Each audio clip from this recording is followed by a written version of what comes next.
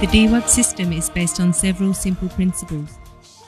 The first stage is a septic tank to float the solid substances of the wastewater.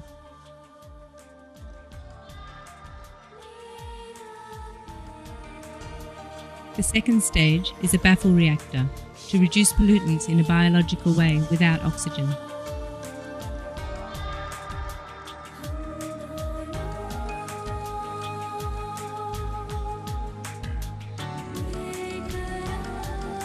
The specific hydraulic design of the reactor ensures BOD could be reduced until 75%.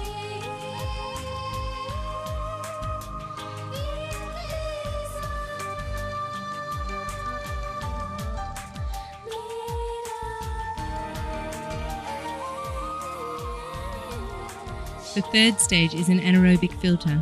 Here, fermenting bacteria are fixed on filter material to further process the reduction of pollutants up to 90%.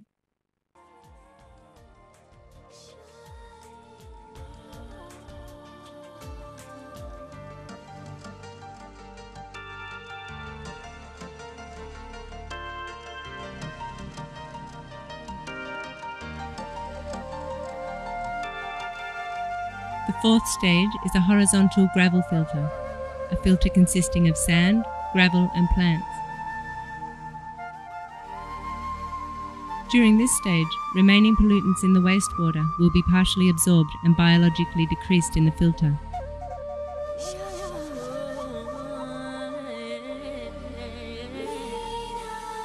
This process is caused by plants, roots and bacteria growing in the filter.